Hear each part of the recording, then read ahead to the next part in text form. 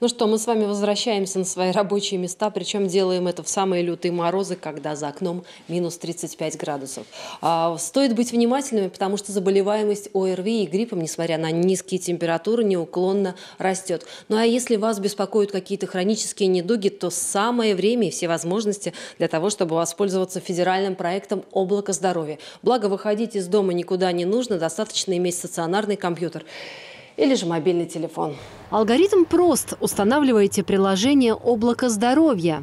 Нужно э, нажать на для того, чтобы записаться, зарегистрироваться, естественно, где нужно ввести мобильный номер телефона либо электронную почту или регистрируйтесь через официальный сайт. Помимо личных данных добавляете результаты проведенных исследований и вуаля.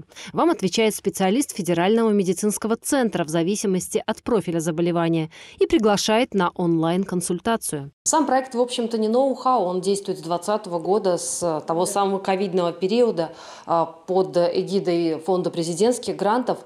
И есть ли уже какие-то удачные примеры, когда вот именно наши ульяновские жители воспользовались именно вот этим проектом и удачно воспользовались? Вы знаете, вот так, чтобы люди самостоятельно выходили, у меня таких данных нет.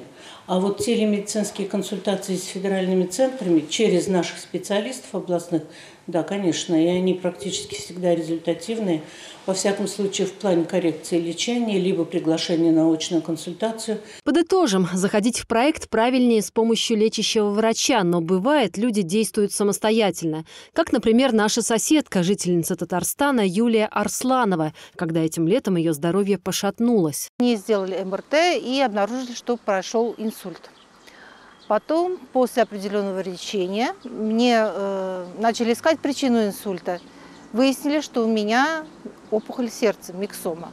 Благодаря проекту Юлия миновала многомесячную очередь на операцию дома. Сразу после онлайн-консультации получила приглашение на оперативное вмешательство в Федеральный центр сердечно-сосудистой хирургии имени Бакулева. Помимо этого знаменитого учреждения в облаке здоровья представлены Центр акушерства и гинекологии, микрохирургии глаза и ведущая клиника ЛОР профиля. Все консультации и последующая помощь на бесплатной основе. Отец проекта – человек-легенда, академик и профессор Лео Бакерия. Принципе, человек, любой человек, находясь там даже в Хабаровске, может, э, там, скажем, списаться, созвониться и договориться насчет телеконсультации. Пациенты наши, так скажем, долго запрягают, да, и поэтому считают, что а ничего, пройдет, а ничего, пусть будет.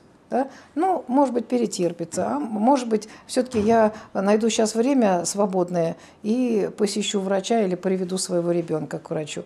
Вот этот момент очень важный, да, вот эти промедления категорически неправильные. Более продолжительный полет в облаке здоровья ожидает вас в медицинском телепроекте «Будь здоров». Уже сегодня, 10 января в 19.30. Не пропустите. Татьяна Домоданова, Юрий Давыдов, репортер 73.